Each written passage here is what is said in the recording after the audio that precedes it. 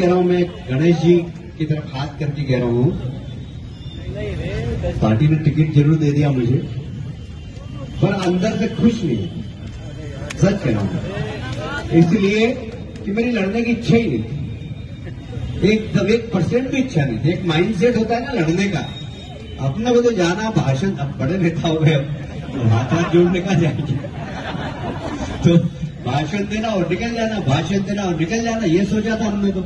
हमने तो प्लान ये बनाया था कि रोज आठ सभा करनी है।